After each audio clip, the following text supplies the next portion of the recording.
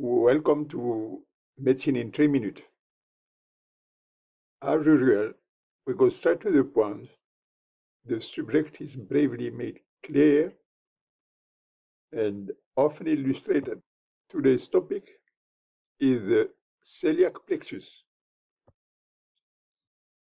During this presentation, we will successively discuss the definition of the celiac plexus, its anatomy, its location, a remainder of the sympathetic nervous system, modality of plexus transmission, clinic interest, and plexus blocking procedure.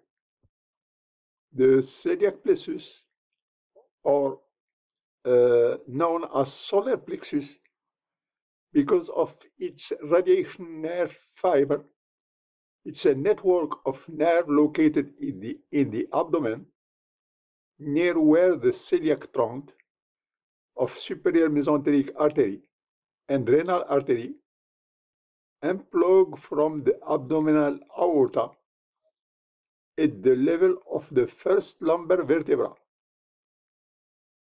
The plexus is formed in part by the greater and lesser splanchnic nerve of both sides and fiber from the anterior and posterior vagal trunk. We are at the level of the first lumbar vertebra. Here is the aorta, the inferior vena cava, and the plexus celiac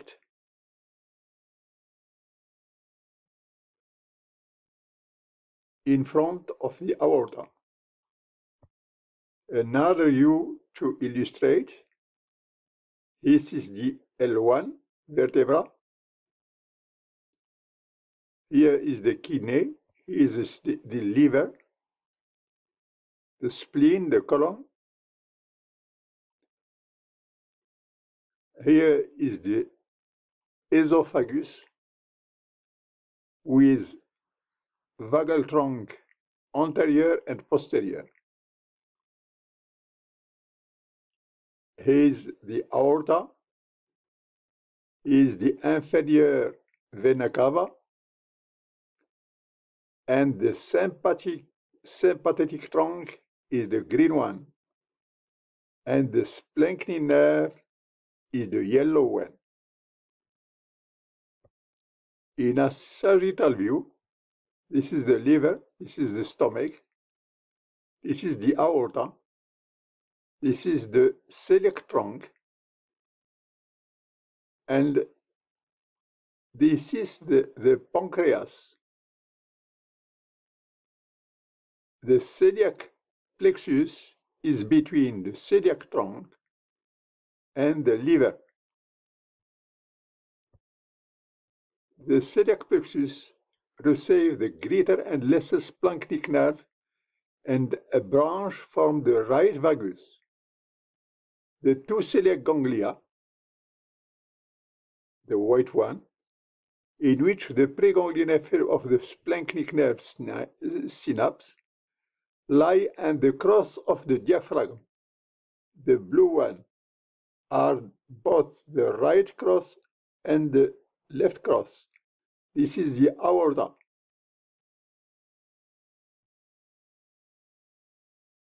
Each ganglion is about 2 cm in diameter. Some preganglionic fibers that from the plexus supply the adrenal medulla.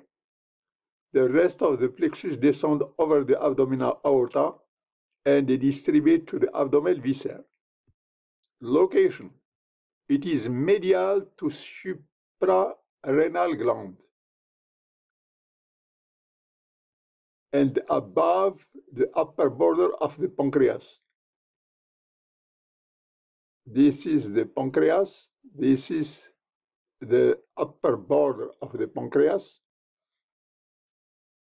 This is the medullary two medullary gland, and this is the plexus between them.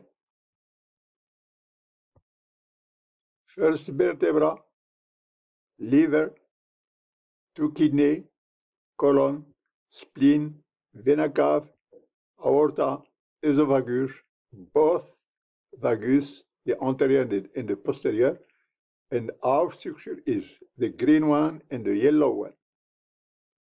This is a reminder of the sympathetic system. What is the sympathetic system? It is generally admitted that the starting downflow of sympathetic system begins at the level of the hypothalamus here. Axons are polysynaptic and pass through the tegmentum lateral part of the brainstem transmitting the stimulation outflow to the cranial nerve from the spinal cord. To report that, the parasympathetic sends its nerve to cranial nerve through brainstem. The sympathetic outflow is called thoracolumbar. Sympathetic fiber going to head and neck coming essentially from T1 and ascending from C8 and T2. Ciliospinal center of Budge is the area of T1 from which emerge sympathetic fiber coming to head. Between T1 and T12, thoracolumbar outflow, and it's coming from the hypothalamus to the ciliospinal of Budge. From the sympathetic, preganglionic arise from thoraco and lumbar region. Fiber exit by way of spinal nerve to the nearly sympathetic chain of ganglia. Hence, in the chain, preganglionic fiber may follow any of three routes. Some fibers synapse immediately with the postganglion like this. Some travel up or down the chain before synapsing. Go up or down before synapsing. Some pass through the chain without synapsing. This one is passed through the, chain without synapsing.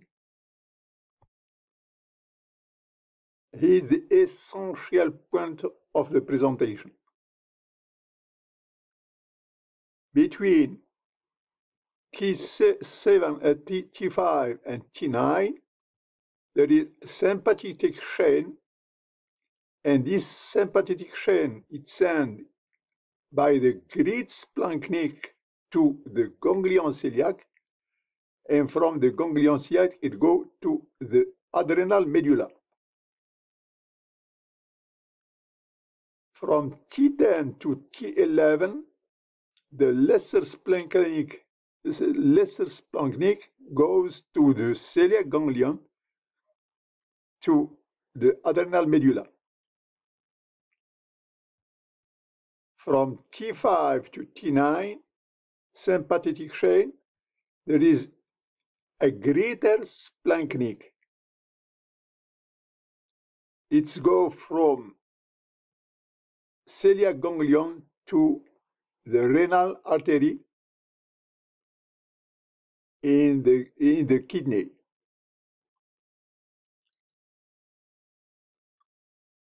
The difference between here and here,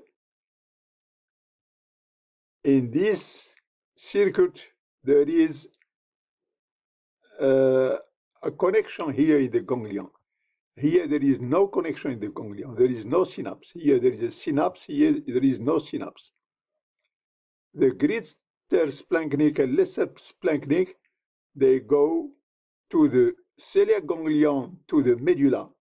On the other hand, the sympathetic chain coming from T5 to T9 to the renal artery, from the celiac ganglion, there is synapse. This is about the sympathetic. For the parasympathetic coming from the medulla, dorsal motor nucleus of vagus following the vagus nerve go through the renal artery. Greater splanchnic nerve formed by preganglionar fiber from T5 to T9 ganglion and rely in, select, uh, in uh, celiac ganglion. Lesser splanchnic nerve formed by preganglionic fiber from T10 to T12 ganglia relay an aortorenal ganglion. Here is the aortorenal ganglion. Here is the celiac ganglion. T5 to T9 is coming here without synapsin. There is no synapse before it reaches the medulla. T10 to T12, it goes through the aortic renal ganglion and the synapse. There is a postsynaptic, presynaptic and postsynaptic go into the kidney.